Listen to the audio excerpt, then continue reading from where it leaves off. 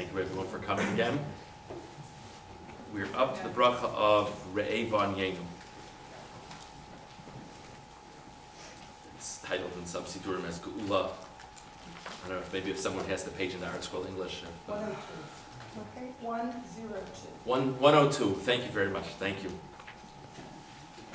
you translate? I'm sorry, Could you translate, please? could I translate what? What you just said, what the bracha was. Oh, I'm sorry, Re'evan Yenu, see, see our, our, our affliction. Okay, Okay, um, okay, so this bracha, now it's interesting, again, we're not gonna get into the sequence regarding every bracha, but this is a point that Gemara raises in Maseches Megillah, Daf Yud Zayin and Beis, that the sequence between the last bracha from last time, Slach Lanu, and Re'evon Yenu, and Rafa'enu Hashem V'nei Rafei, is all based on a pasuk in Tehillim, Perek Kuf Gimel of Tehillim, Hasoleach l'chol avonaichi, that God forgives all of your sins. Harofei l'chol tachluaichi, that God heals all of your illnesses. Hagoel mishachas chayoichi, that He redeems your life from the depths. So it's based on that sequence. Now, I don't mean to get too technical, but if it's based on that sequence, then it's out of order. In other words, the first it should be geula, um, uh, first it should be slicha, excuse me, then it should be healing, and then it should be redemption, and, and numbers two and three are flipped. So the Gemara says an interesting thing. The Gemara says, and it just gives you a snippet of the depth of the intention behind the format of Shemona Esrei, and certainly the words of Shemona Esrei. The Gemara says that the bracha of redemption, which is the bracha that we're doing tonight, beginning with Goel Yisrael, the Redeemer of Israel, uh, is logical to be the seventh blessing of Shemona Esrei. And the reason it's logical to be the seventh blessing of Shemona Esrei, we won't get into the details now, but there is a source that the ultimate redemption of Klal Yisrael will begin in the seventh year of the Shemitah cycle. In other words, actually, to really get into technicalities, the Gemara says that, you know, there's a famous tradition that there's some type of war that precedes the coming of the redemption. That happens in the seventh year, and, and then the ultimate redemption comes in the eighth year. Um, and if I was a really good rabbi, I would now tell you exactly when that will be. But uh, sorry, that didn't, I didn't make that one in school. Uh, so, so it makes sense that the bracha of redemption should be the seventh bracha, and then it also is logical that the bracha of healing should be the eighth bracha, for a very famous reason, something to do with the number eight. Bris Milah. So that's one of the classic examples of someone who needs to be healed. Glad there's no Mohelim in attendance. I hope no one will be offended by it, but it is pretty common uh, that, that, that there needs to be healing after bris. So that's on the eighth day. So basically, it's the spirit of that pasuk with this little inversion. But this is what the Gemara says, an interesting thing. Um, also, just as a means of introduction, Rashi in that Gemara and Megillah says a, a fascinating point that if you look at this bracha and you think this bracha is about the ultimate redemption, you're actually incorrect. Even though, even though the bracha ends with saying Goel Yisrael, I mean, this is the Redeemer. He says you have other brachos in Shemona Esrei about the ultimate redemption and the rebuilding of the Beis Hamikdash and things of that sort. This is about redemption from our day-to-day challenges. It's, it's a very interesting thing. Again, this is Rashi on the Gemara. This is not like a fanciful, you know, vort somewhere. This is, he says the pshat in this bracha. It's a fascinating way to think about this bracha. The pshat in this bracha is Klal Israel is constantly, whether it be on a national level, whether it be we as people, constantly have great challenges. And this bracha is asking us for redemption, asking God to give us redemption from each of these challenges along the way. And the big, broad redemption that we talk about later. So it's a very interesting, very interesting thing to think about. And just one more point along those lines, Rav Shimon Schwab points out, there are so many calamities or potential calamities that we don't even know about. You know, it's a fascinating thing to think about what we're asking God for help with. I'm reminded, I, I believe it's, it's a mushal, it's a parable from the Dubno Maggid. I, I don't remember definitively, but it goes something like this, that there was a, a wealthy man, all good mushals start with either a wealthy or poor man, one or the other. Uh, there was a wealthy man who also was unfortunately blind. And there were some fellows who wanted to rob him, but he actually had very strong security in the home. So they decided, he went on a daily walk. And uh, they decided that one day they would dig a hole. They watched his route very closely. they would dig a hole, cover it up with some straw and the like. Uh, you know, when he would go with his cane, with his stick, it would seem like it was regular ground. He would fall in. They'd be good Samaritans and pull him out of the pit then bring him home to make sure he was all right. And once they were in his house, he would, they would, they would rob his home. And they're waiting there, waiting there, waiting there. And um, he's walking. And for some inexplicable reason, that given day, he decides to turn around and drop early. And, and so just, just imagine the redemption that God brings him in that moment. And only the bad guys know. The good guys don't even appreciate the redemption. Uh, you know, it's something we can so relate to, specifically in our times. God should protect us. God should always protect us.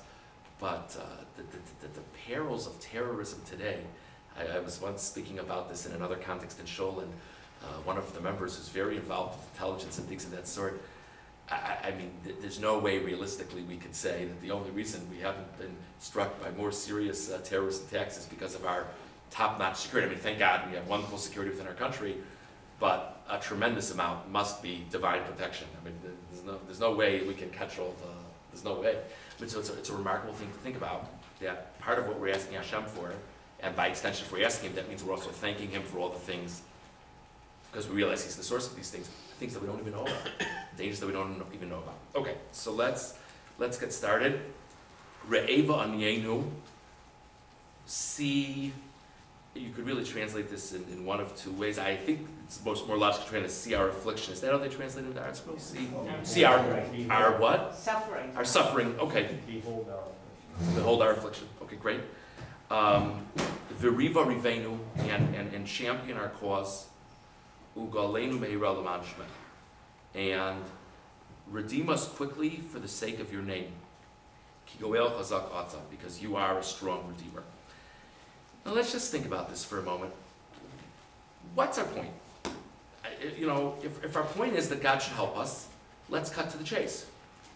Re'ev yenu, see our, see our affliction. What, do you, do you got, want God to like applaud for you now? I mean, it, it, it sounds like a, like a child looking for attention. Say to God, fight our cause, champion our cause. Why, why see our affliction? So the Reba Yakar quotes a very interesting medrash in Tehillim. It's, it's medrash Tehillim, Perak Mem Dalid. And in the medrash, the Jewish people ask Hashem, when will the Geula, when will the redemption ultimately come? And his answer is that when Klal Yisrael reach a uniquely low point of, of pain, despair, etc., then the time will come for the redemption. And that actually is based on a juxtaposition of verses in the 44th chapter in Tehillim. It says in one verse, Ki shacha le'afar nafshenu, our souls have bent down to the ground.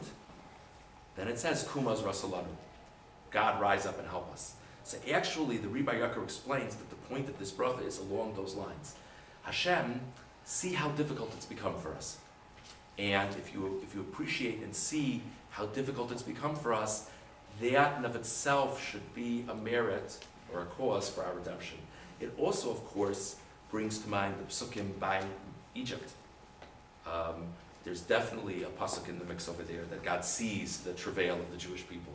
Um, so we're asking Him to respond to the difficulty of the challenge, and, and the fact that it's so difficult should be itself the impetus for our redemption. It's an interesting thing to think about. Now, redeem us speedily, leman shemecha, for the sake of your name. What, what does that have to do with God's name? So the Rebbe Yakar explains it's really based on the pasuk in Yeshaya. Pasuk in Yeshaya refers to the fact that Goalenu Hashem Tzvakot Shema. Our Redeemer's name is God. So in other words, part of the essence of how we look at you is as our Redeemer. So if you indeed redeem us, that it reinforces our understanding of you. Okay. Um, and then we, Also. you know, let me just, you don't let me finish the bracha and then we'll, um, Baruch atah Hashem, Goel Yisrael. Blessed art thou God, the Redeemer of Israel. By the way, just for all you chazanim out there, um, forgive me if I tilt this way. Um, for all you, for all you chazanim out there, there's, this is a common mistake. The, the, the ending of the bracha before Shemona Esrei is Ga'al Yisrael, that we emphasize that he redeemed Israel. And this bracha of Shemona Esrei is he does redeem Israel. Now, Rav Schwab just points out that this grammar very much speaks to the point that we began with. This is not about the fact of the ultimate redemption. If it was about the ultimate redemption, it would be somewhat strange that we say it in the present tense. It would be the one who will redeem Israel. That's not what the bracha is about. The bracha is about the fact that we believe through all these challenges and all these difficulties, God's help, God helps us left and right. And we just ask Him to continue to do so. Back to Shine Since we just had Shiva Asar B'Tammuz and then Laning and Moshe appealing to Hashem, and one of the arguments is, you know, everybody also say, hey, Hashem, you brought us out just to this, so it's a desecration of Hashem's name if we have a problem. Right. In the end, in the end of the day, if things go off the Jewish people, it, it's, uh, it's a sanctifi- sanctification of God's name. But it's very interesting, if we think of the redemption from problems as being the focus of this bracha, it, it makes a big difference to Golenu Meir Elaman Shemecha, because if you make it clear, if God makes it clear that He's there for me in my time of difficulty, then the whole way that I relate to God will change. And that's not really God's problem per se, but it would be wonderful of Him to help us in that regard. Again, it's our job to see it. It's our job to see it when it happens. But kind, seems to be kind of part of the focus of this bracha. Aaron, did you want to say something? How do you understand Geula Shleim? As opposed to just Geula. Well, it doesn't talk about Geula Shlema here. Oops. I got this part. Oh, oh, that's, uh, listen, I want to tell you something. I have a rough enough time. Uh, for the record, by the way, I, I, I think it was, yeah, it was last week. I don't think uh, you, you all were, were kind enough to let me skate by on it. So I referred at the beginning of the pas of, of the bracha of to Chachma Bina and Das. I referred to that, and then people were, were kind enough to just ask questions about Chachma Bina and Das, and not make the point of you were talking about Chachma Bina and Das and you never tied it back. Um, what I realized afterwards is the commentary I was looking at must have been looking at the Nusach Sfard uh, edition, which has Chachma Bina and Das. So last week was our taste of Nusach Sfard, and this week I'm just going to try to focus on the Ashkenazi rendition. Thank you. Thank you very much. Okay. Uh, anything else before we go on? Okay. Uh, the next bracha is, is of course a bracha that I, I, I think uh, holds a special significance for so many of us. Uh, the bracha of Rifa'enu, that we ask for the sick to be healed. Um, I, think it's fair to say, by the way, just before anything, people were asking last time about inserts in, in, in davening. The point was made last week, which is certainly true, that this is a famous bracha that we regularly insert things into the Shemona Esrei. Uh, anyone who sees an Art Scroll Siddur should see before the Kikel Melech, there's a, like a little asterisk or mark or something, and there's a place to in- insert prayers uh, for the sick. Um, I, I should just mention, it's, it's a very common question, who should get a Mishaberach? Know, what, stage do you give someone a Mishaberach? It's, it's a commonly asked question. Um, as, as a general, as a general rule, first of all, if within the normal mode of medicine, there's no way for the person to get better, we normally don't daven that they should be healed. In other words, if, if heaven forbid a person is in an incurable condition, uh, to daven, mean, we, we aren't supposed to daven for miracles normally. That doesn't mean that we don't believe God can do that miracles, but we normally don't daven for miracles. Now, having said that, we can certainly daven, and I frequently tell this to people, we can certainly daven, let's say a person is in a chronic condition, we can certainly daven that they shouldn't have pain and things of that sort. Um, as a general rule, the Mishaberachs and Shul, like during laning, the people who Mishaberach should be said to them are people who are currently ill and there are hopes of that illness being cured in, in, in one way or another. Um, again, forgive me for saying, I don't mean to be flippant about it, just, just if, if I give examples, people should understand a little bit better what I mean. If a person has a handicap and there's no realistic method by which that handicap will be healed, it doesn't really make sense to make, make, make a mishabera for them. We could daven for them in our private tefillos that everything should go well for them, but it's, it's a little bit, um, so also traditionally in the shul mishaberach, traditionally that's a mishaberach we make for people who are, who are seriously ill. So if a person uh, has a fever that day and stayed home from work, that isn't someone we would normally make a mishaberach for at laning that day. Uh, on the other hand, in our private tefillos, there it's a much wider, it's a much wider range. I would still say that we should, we should be davening for something concrete for the person, Again, it has to be that there's something that the medical team is working for, or hoping for, or something like that. But uh, there's a much wider range of people that it makes sense to be making Mishaberach for in our private tefillos. Of course, at the end of the Mishaberach here, we say B'soch Sharchol Israel among all among all the sick of Israel. Okay, now this this point was made last week. Um, I believe Bernie made the point last week that you know brachos are always in the plural. They seem to always be in the plural. This bracha is one of the more stark examples of it because it's based on a pasuk from um, Yirmiyahu, Rufa'eni Hashem ve'erafeh, heal me God and I'll be healed. And we of course say Rufa'enu Hashem, Rufa'enu, heal us God, ve'nerafeh, and we'll be healed. And, and so it's really strong here because we're actually taking a pasuk and changing its form for the sake of this bracha. So this is a place that many of the commentators point out how much this is clearly our traditional approach to prayer that we, if we're davening for one person, for myself, for someone else, we daven for everybody. And uh, this is probably the strongest, if not one of the strongest examples of this in, in Shemona Esrei. Um, Rufa'enu Hashem v'nei Rafeh, heal us God and we'll be healed. Hoshienu Vashea, save us and we'll be saved. Ki silasenu ata, because you are our salvation. You are the source of our praise. Rav Schwab makes a very interesting point.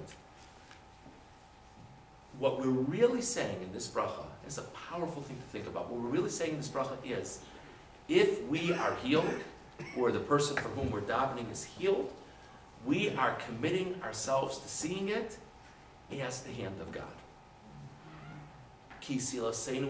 If you heal us, we'll be healed. What does that mean? What's the flip of that? That means if we're healed, we see that as coming from you. Now, that is not to say that we shouldn't owe a tremendous debt of gratitude to the doctors and the researchers. Of course we do. But we believe that we need to thank God for their wisdom. Uh, we need to thank God for sending us to the right doctor. And obviously, many times, the best of doctors can do all the right things and it still doesn't work out. And for that, we also thank God if it worked out for a person. But It's a fascinating hashkafic statement within the davening. And this is one of many examples in davening. I don't know if we've said this yet or not. I always tell people I, I don't listen well to my own presentations, so I don't know if I mentioned this or not.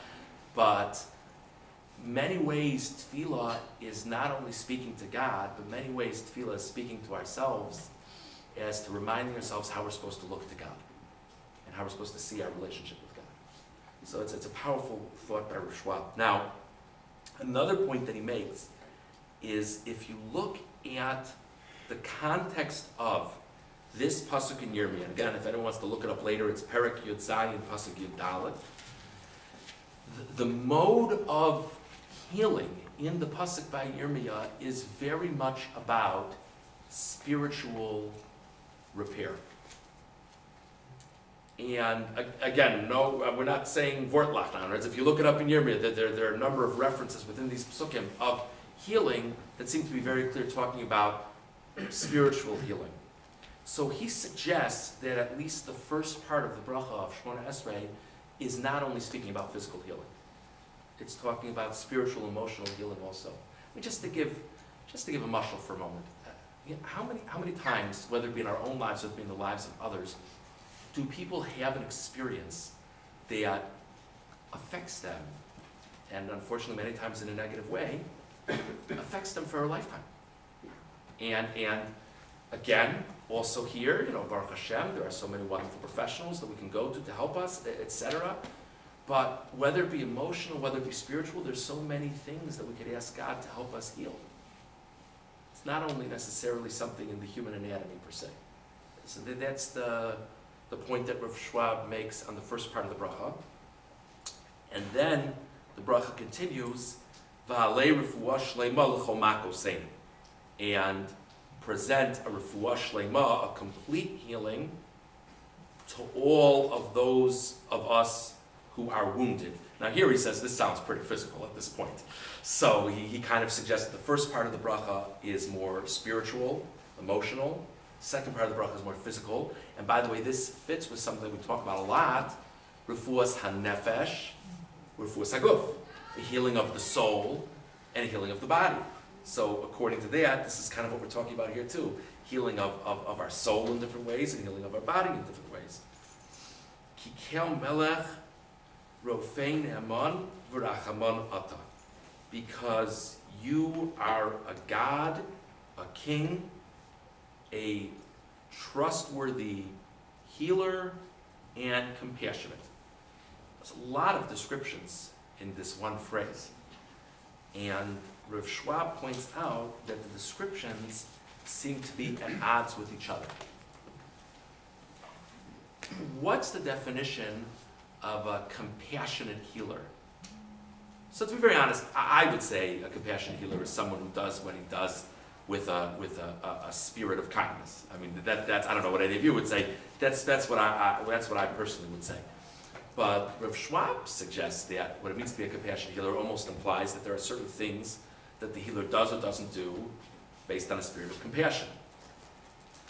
Uh, uh, a reliable, faithful healer is presumably not moved by how much it'll hurt. Presumably, they're moved by what's going to be the most effective approach. So he says, Arofei, Naaman, and Rachaman are not necessarily on the same page. Uh, maybe, maybe something that can resonate with us more. Kale is one of the names of God that connotes mercy. Melech, king, doesn't sound like a very merciful name. So he, he finds it to be a little bit at odds, the Kale and the Melech, and the Rofe Naaman Barachamam. It just seems to be a little bit stretching in, in, in two directions.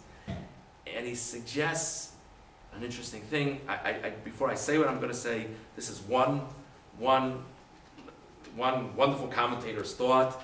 And, it- and even with this thought, certainly it's not necessarily true across the board in life, but just to say it, sometimes the illness itself could be a gift from God. For, for whatever reason it might be. It, it, it, it, could be the illness is some type of atonement. It could be the illness is an opportunity for a person to gain greater clarity in this world. Uh, it could be the illness is an impetus for the person to, to, to think about who they are. It's a very interesting thing. There was a movie, um, it was based on a book. I don't want to disappoint you. The reason I know about this movie and the book is uh, it was written by the book was written by a fellow by the name of Rosenbaum, was some like second, third cousin of mine, and those are the only movies I know about. um, they had they had an, any movie that came out before like the early '90s, whatever. but, um, but but uh, there was a the movie called The Doctor. I don't know if any of you remember it. It was William Hurt, I believe, was was in the movie. So um, the, the the topic of The Doctor was uh, the, the the fellow was an oncologist who himself came down uh, was found to have cancer, and it was a tremendous uh, self discovery of sort of how it feels from the other side of the table, and it's just an interesting mushal. Now. I mentioned my mother last week, I'll mention my mother again. Whenever my mother talks about this movie, she very emphatically says that the actual author of the book, the, this Eddie Rosenbaum, was an extremely compassionate doctor. The movie has him very, very cold and callous, and, but, but still it was, it was a tremendous uh, experience for him. But just take that as a mushal for a moment. Many, many times people suffer from illness. It's a very powerful opportunity to reflect a little bit on so many different things. And so, especially if you think of part of the bracha being kind of spiritual healing, sometimes God giving us the illness and hopefully the healing within the illness, the illness is a rachmanis from God sometimes. Sometimes the illness is in its own way a gift because it's an opportunity for perspective. I want to reiterate this is not necessarily true across the board. It's a very powerful thought, far easier said than just randomly applied to people's lives. But, but, but it's an interesting thing to think about. And that in your Rahmanis, in sometimes giving the person the illness, you are a, a faithful healer within that mode. It's an interesting thing to think about. And then we, we uh, thank God, we bless God for being the Rofei Cholei Amo Yisrael, for the healer of, of the members of Israel who are sick. Yes. Questions? Please, yeah. So the, the phrase ki sihil eseno oto doesn't really seem to fit comfortably in there. Um, you translate it as you are the source of our praise, meaning you're the cause of our praise. Right, right, Reason, yeah. right. Um, but you could read the prayer without that phrase in it, and it seems to flow much better, because you're giving the praise at the end. You're actually saying it to God Right, in those praise, praising terms, Right. So, um, especially if you translate it, the key as because, it doesn't seem to flow right. You heal us, uh, and we'll be healed, and save us, we'll be saved, because, because you are the source of our praise. yeah, I think it's a very fair point, I think it's a very fair point. Um, it is based on the pasuk from Yirmiyah, which I, I believe does end off, uh, Kisilasi Ata. Um, it is interesting, if you think of it in light of the way Rav Schwab looked at the pasuk, it, it actually does somewhat resolve your point, in the sense that it, heal me God and I'll be healed is, in another sense, saying, if I'm healed, I'll see it as coming from you. So if, if that's the accompanying meaning of the phrases, then kisila si ata, it's a statement that I recognize that you are the appropriate direction, you are the, the appropriate source to which my praise should be directed. I think so. I think it's a very fair point. Thank you. I just wanted to say that my mother has several doctors who are from, and every time she's had to go in for surgery, um, the doctors, you know, scheduling it have said, I'm gonna go to shul that morning and I'll do, make a mishpera for you. And it's been an enormous source of comfort to her. So I just mention this, if there are any doctors in the audience, it's such a small thing, but it like is, is the thing that she holds on to. Thank you very much. Thank you. Someone else, Beryl? Yeah, I just have an observation. Um, in some of the previous brachot that we spoke about, especially the ones where we're mavakesh, you know, slicha and rachamim, we use the terminology uh, avinu. And, you know, it appeals to me that I don't have a problem with any of the words that are in the bracha the way that it is, but it seems like that reference is missing and it seems like all the times that you'd really like God to relate to us, a father to a child, that it, it would be a time when, you know, you're ill and you really need help. I think it's a very interesting point. I appreciate you sharing that. I don't know why this is, but it seems the reference to Avinu is actually the except the exception and not the rule. I do I do want to credit Alan Boldiger was kind enough to mention. I said that Avinu shows up twice in Shemona Esrei. There is a reference to Avinu in the bracha of Sim Shalom. I, bel- I believe you mentioned right. Did I right? So that was um, that was a good point. but uh, other than that, to the best of my knowledge, these the, the, the two brachos you referred to of Hashivenu Avinu L'Sarasecha and Slach Lanu Avinu Kichatanu. At least one of them, Mepharshim pointed out, these are the two brachos that refer to God as our Father. And he, we had a whole thing of what was special about these two brachos. Why it's not a more common thing in Shemona Esrei to refer to God as our Father, I'm not sure. I don't know. I didn't. I didn't really see that addressed. Um, I think it's a very, it's a very fair point to think about. I'm not sure. I'm not sure. I'm, I'm sorry. I don't have a better answer to your. But just the only thing I'm, the only thing I would answer to you is the Avinu was more the exception, not the rule. Why that is, I don't know. Maybe there, maybe it's because there are two polarities when we talk about Shem. One is emes, uh, uh, judgment, and the other one is chesed. And uh, the ne'eman, which is maybe rhymes which is a, a, a echo of emes, is the uh, is that part of the uh, the uh, the din, the judgment, the the, the, justice, and he figures it out uh, however he does. So uh, we pray for there's always more balance towards the Avinu and to, the- to the Rachamim. There's also the fact that Hashem wants order, he wants din, he wants emes. And that balance, he figures out how he wants to do it. Thank you. I mean, that could very, uh, certainly could very well be. I mean, I think there's something I, I was thinking about that kind of was charged by what Max said, which is I, I'm not sure the way we should be relating to God is asking Him.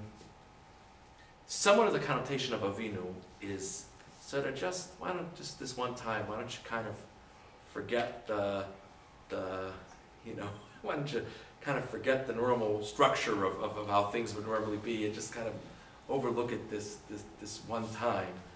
Um, and, and if that's the standard mode for how we relate to him, that sort of becomes a little bit of an unhealthy, uh, so the two brachos that we spoke about, Avinu, was he should bring us close to his Torah. So that is actually, I need to see myself as not only a subject, I need to see this as core to who I am as a person, and God is my Father.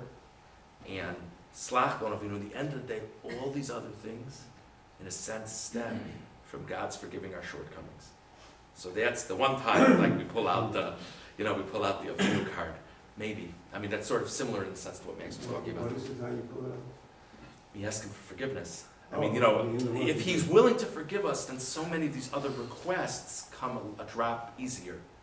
Would you say Avinu Malkeinu Shlachim for Shlomo? Yes, yes. So, so the Avinu Malkeinu, the Avinu Malkeinu davenings, which we which we said on on Shiva Asar B'Tammuz just a few days ago, um, those are clearly impassioned pleas of God. Uh, it's very striking, right? Even when when Yom Kippur is on Shabbos, we, we, we refrain from saying the Avinu Malkeinu because because the tone of them are so it's like not in, not in step with Shabbos. Um, so these are that's clearly where we're pulling out all our stops, whether it be that we're saying during the Sefer Tshuva or on a fast day. Someone else? Rabbi? Yes. You, is that, the- that, that's like a plate? You could translate it that way. Yes. A makkah is, is, is- is, is, a, is a striking. So that could be a hit. That could be uh, it's a, it's a wound. Could be a makkah. Wounds. to the- Um, a plague could be a makkah. Everything in between. Yeah. So, uh, uh, uh, that those could be considered like a plate? Uh, Maybe. Uh, you know, I, I, I, I mean, literally, makkah could be is it means a wound. Yeah, yeah, yeah. Makkah means a, a hit. Uh, So it I could was be- it's- thinking it's a about broad this, word. the- The Stroke. in Thank you. Thank you. I just was thinking. Yeah. So- Yeah, I mean that's a very strong context of it. That's not that's not the exclusively the context of the word. Yeah. Thank yeah. you. Thank you. One more point on Sure. the, uh, the use of, the- which term for God. The model from the Torah that Moses used was kale no kale. That's a wonderful point. That just just uh, just uh, so we refer to God here as Kael Melech. So when Moshe davens for a healing for his sister Miriam, Kael na refan Allah. So that the Kael is the way God's referred to by Moshe. So it, it- it's very fitting. Thank you for sharing that. Thank you very much. Okay. Um, the bracha of Barech Aleinu. Barech Aleinu is an extremely relevant bracha uh, for all of society, and it's basically the bracha of Parnasa. You know, so it, it, it measures the bracha through the mode of an agricultural society that God should bless the crops of the year. But first of all, even today in our in our in our times, I'm sure our economy in some way is driven by the success of the crops. But even besides that, it's, it's, it's much more broad than that. It's our ability to have food, it's our ability to have money and financial well-being. This is an extremely important bracha. So, Rav Schwab asks a very, very basic question, and that is, there's a very famous quote from Chazal that our finances for the year are set Rosh Hashanah, Yom Kippur. So what are we, what, what are we bothering God for? Uh, you know, get, get, get back to me, you know, what, we'll, we'll file, we'll put it on file for Rosh Hashanah. What, are- what are you, what are you talking to me about? He, so the, the question is a powerful question. Um, I, I think the, probably the basic answer to that question is that maybe if, if things wouldn't have been so good for us, maybe impassioned tefillah has a way of kind of tilting it a little bit. Maybe what, what's set on Rosh Hashanah Yom Kippur is, hold on one second, Aaron. Maybe what's set on Rosh Hashanah Yom Kippur is kind of the baseline for what's going to be. But maybe if we conduct ourselves in a uniquely positive way or daven in a uniquely meaningful way, maybe that'll be improved. Maybe. Um, Rav Schwab has a very interesting suggestion. There's another famous quote associated with Parnasa, like sort of the other part of that quote, is everything is set from Rosh Hashanah Yom Kippur except for expenditures for Shabbos and Yom Tiv and our children's education. Whenever you give that quote today, there's a very meaningful sigh. Um, if anyone could imagine children's education costing any money. Um, but so he, he suggests the, so the, the basic meaning of the quote is the way it's normally taken is if I put more money into having a nice Shabbos or a nice Yom Tiv or really seeing to it that my children have uh, the best, you know, religious education I can get them, then that like is not on the tab. That, that, that, that, that's the normal way that it's understood. Um, the way Rav Schwab suggests it should be understood is that the wherewithal we'll have for these mitzvah expenditures of Shabbos and education, things like that, is very much rooted in our passion and our focus and our tefillah day to day, week to week.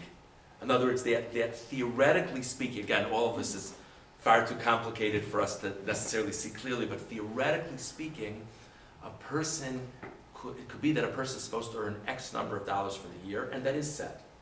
With the one thing being that for these mitzvah, mitzvah expenditures of his Shabbos or his children's education or whatever else we might be talking about, if there's powerful tefillah as a merit, and not just tefillah, but that the person conducts themselves in a manner of great honor for Shabbos, etc., then at that time, at that juncture, they could merit better financial ability to take care of those things that are clearly so meaningful to them. Just an interesting thing to think about. Um, okay. So, if people want to fill out their tuition assistance forms and put on the end, I had special kavanah on Barech Aleinu. They can. Uh, Barech Aleinu Hashem Elokeinu Es hashanah hazos. Uh, Bless upon us, Hashem, our God, this year, v'yaskom minei svua tova, and all the different types of grain, which again, in our society, we're not agricultural, specific language, all the different types of grain probably takes on a whole different meaning in our minds. Whatever, what- what- whatever, it could be the stock market. You know, it could be so many different things. It should, it should be, right, you know, it should be for good. Uh, There's a, a difference here depending on whether it's, it's a rain-oriented season or not, what exactly we say next. But we're saying this time of year, saying bracha al adama. Give your blessing on the face of the earth. Isn't that an interesting, we're used to saying it, but isn't that an interesting phrase? Give your blessing on the face of the earth. Somewhat of a strange phrase. So the Rebbe Yakar cites an interesting medrash. I believe the context of this pasuk, I didn't have a chance to look it up, but I, believe- I believe the context is by the famine uh, in the times of Yosef and his brothers. I could be wrong about that, but the pasuk in any event says, "V'hara'av haya al kol pnei haaretz." The famine was on the entire face of the land. Mm. Same thing, this thing of the face of the land. What's that about the face of the land? So the Medrash Tanchuma says that the face of the land refers to the wealthy of the land. Why? Because the wealthy of the land, if the wealthy do well, they hopefully have the ability to share their wealth with those in greater need. So the point in the pasuk is the famine was so great that it even extended to the face. You know, I, I guess the point of the face is the more the, the, aspect of land that stands out more. You know, that which is more dependent on the land. So the Rebbe Yaakov takes that medrash and applies it here. That the meaning of the face of the land is we ask that God should grant uh, financial well-being to those who are more successful, and by extension should inspire those people. I believe this is what the Rebbe Yaakov means. Should inspire those people to share their wealth with people in greater need. That's an interesting way of looking at the phrase. It's called the trickle-down theory. Trickle down theory. Oh, are you interested in the Republican nomination for president? Hey! That's the, Start praying. um, okay. So, al kol pnei adama. And it, it's, it's an interesting thing to think about in the context of this bracha that we say to God, you should bring financial well-being in whatever way. If that, if that is bringing a bumper crop and that everyone is directly affected, if that's helping certain people become uniquely wealthy and either the more benevolent people are the ones who become uniquely wealthy, or You inspire the uniquely wealthy people to be generous with, with, with their possessions. That's also from God. So just an interesting way of thinking about it. To the best of my knowledge, there is no reference in this bracha to tax rates. I just want to. Um, Years of corn. years. V'sabeinu mituvecha. And satiate us from your good. Now, the straightforward meaning of this phrase is that which we have, that which we receive, should nourish us. I'm just gonna close those doors if you.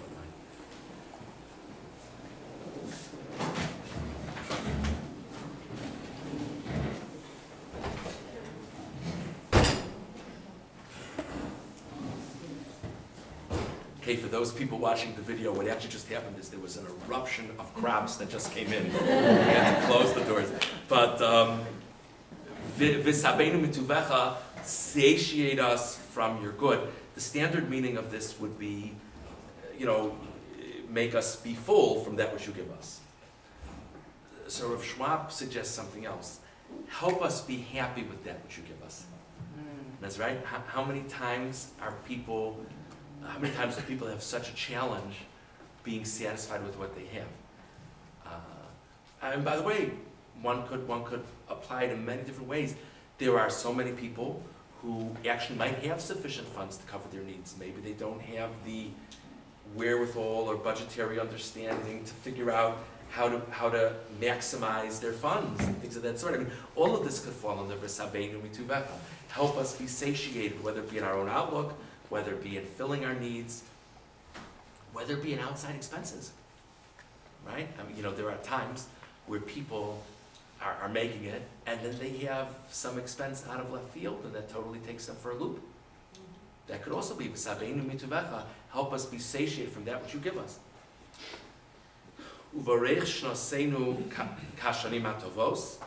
Bless our years like the good years. I have to confess, maybe I'm the only one in the room, until today I misunderstood the meaning of this phrase. I thought that kashanim atovos meant, gosh, I bet in the past there were these good years, and let it let this year be like one of the good years. So the Mefarshim explain it's based on Psukim and Yoel that talk about a time in the future that God will bless us with, with uniquely good years. So the pshat is V'rech shnosenu kashanim atavos. You know, there are Psukim and that talk about these years of great abundance that God will grant the world. Let this year be like one of those years. That, that's, that's, uh, that's the pshat. That's the pshat what we're saying in the bracha. Uh, Baruch ato Hashem mivarech hashanim. We, we, we recognize Him as being the one who blesses the years. Any comment? Oh, yes, Arnold, thank you. Did you want to, thank you very much. That was, no. Did I already address it? Yeah, no, let it go, it's okay. Sure? I, I just wasn't paying attention, good attention to someone right before Barech Aleinu, but I, I forgot all about it, I Okay. can't give it an advice. Okay, okay, okay, Didn't sorry. want to, just keep go- going. Okay. Thank you. Thank you. Thank you. Someone, anyone, anyone else? uh, I just want to comment on your time issue about um, God determining at the, uh, on Yom Kippur, and then, uh, you know, that happening first, and then we're davening during the course of the year. And I think that same question could be asked about, you know, mi yachya, mi it's not just about money. And to me, the, this is just my personal view, but the answer is that God is outside of time. The question assumes that God is operating in human time.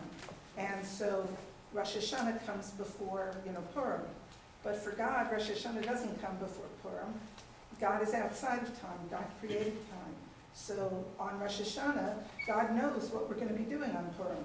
And so it's possible in God's world to make a decision on Rosh Hashanah that takes into account what we're going to be doing after Rosh Hashanah. That's a very, um, thank you for sharing that. I have to wrap my mind around it a little bit, but I, no, no, no, no, no, it's, it's very, thank you very much. Thank you. Anyone else? uh, Yes, Mr. Myers? We have, uh, we're, uh, it's a summer or winter, we change the word. How come we don't do anything about a leap year, this extra month? What's the theme there? Um, um, um, Because we're, we're- we're asking for a good year we're gonna have a year of thirteen months. Right, I mean, the truth, the, the, the truth is that actually, this is a very unique thing within davening in general, within halakha in general, because actually what we do is based on not the lunar, not the lunar calendar, but the solar calendar. Right, so in other words, it's, it's, it's, I don't know how, I don't know how strong the relation is.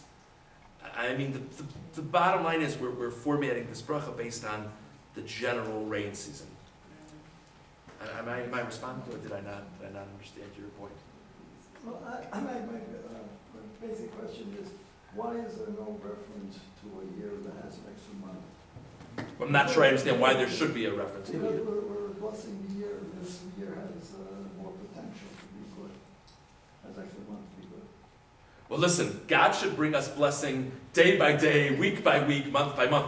What I think, what I think is, is an interesting point that you're touching on, I think it's kind of related to what you're touching on. And I'm not sure what the answer is to this unless maybe there's a pasuk this way. Why do we talk about the year at all?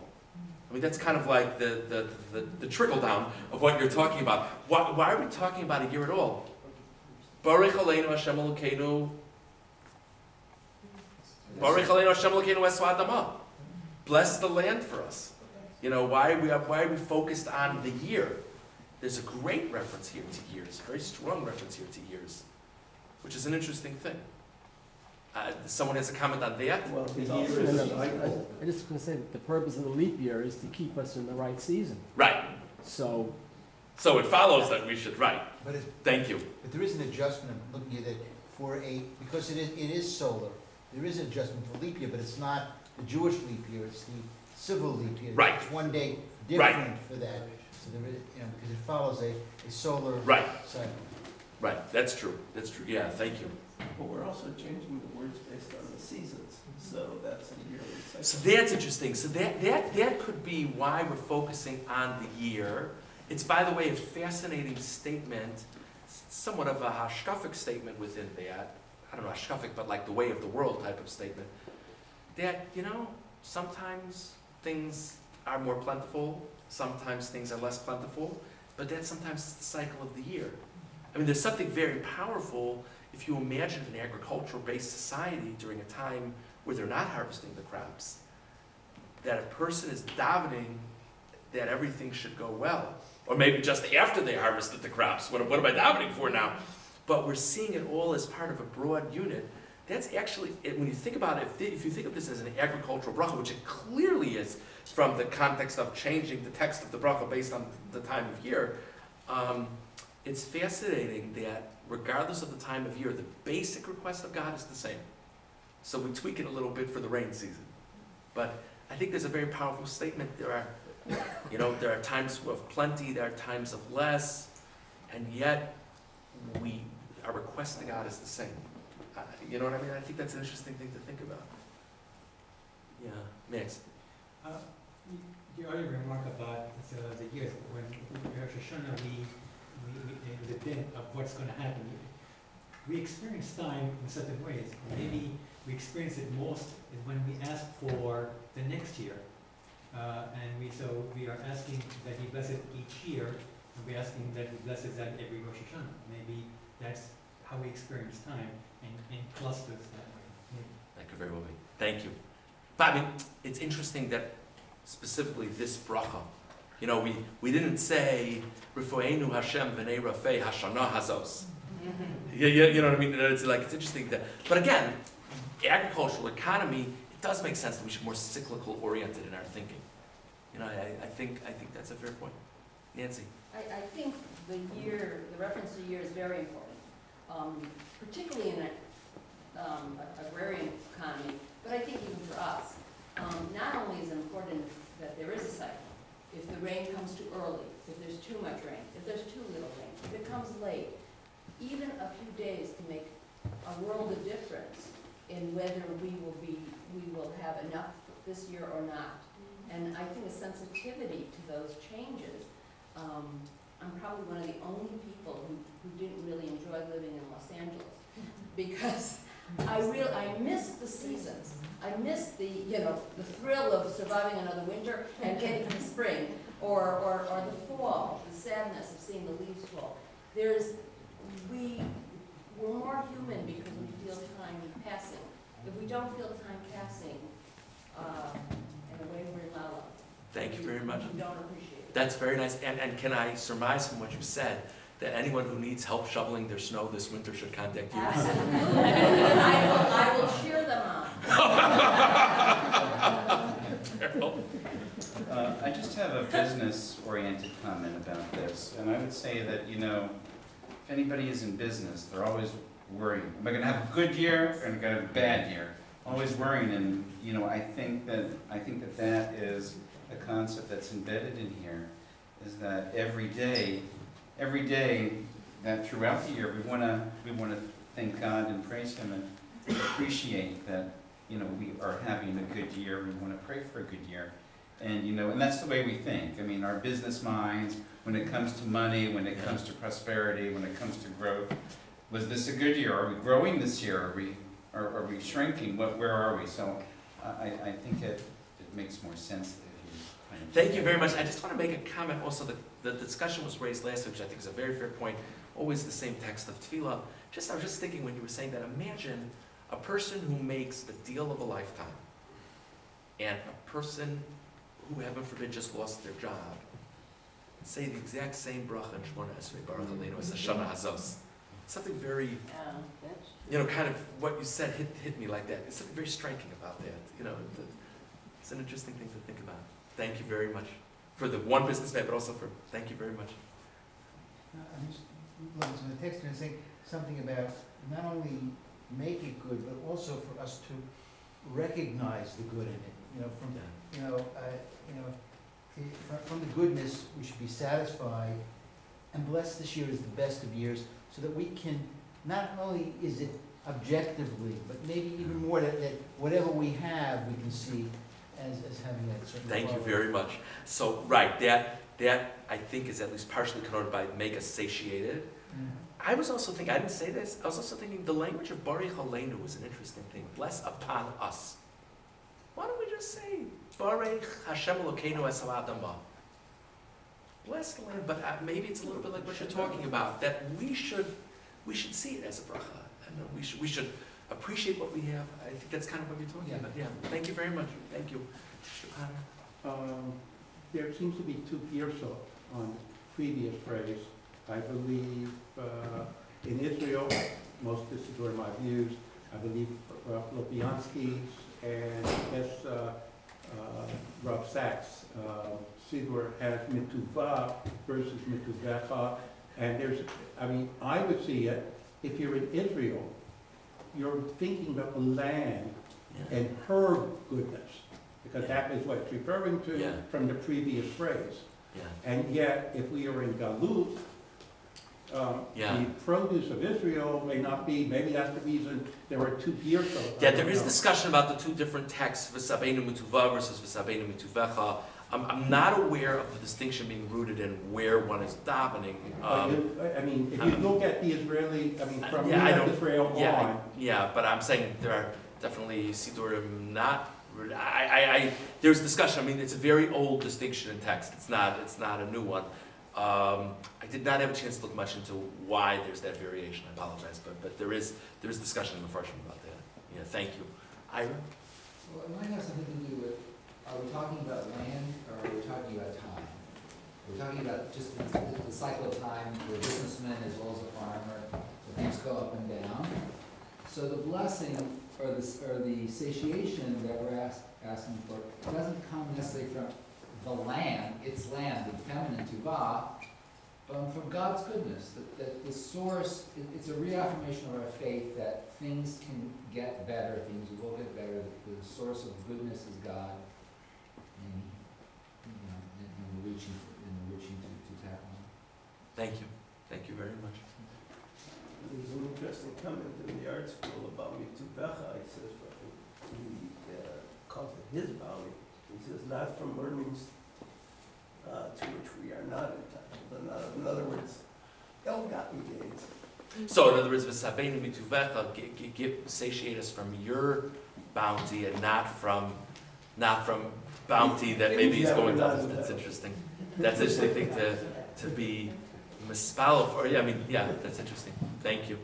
Thank you very much. Yeah. You know, I think maybe this will be the last comment and then we'll hold the it. Yeah. bracha is in, in the plural, brech aleinu. Uh, uh, The whole thing is, it's about us and our. Is it appropriate to think in terms of my needs and my success? So it seems the general approach to tefillah is, we of course think about ourselves. That's, that's human nature and that's what's going to be most meaningful for us. But when I, instead of asking for myself, I should always be asking for us. So, uh, you know, that's, that's the mode of tefillah in general. That's the mode of tefillah in general.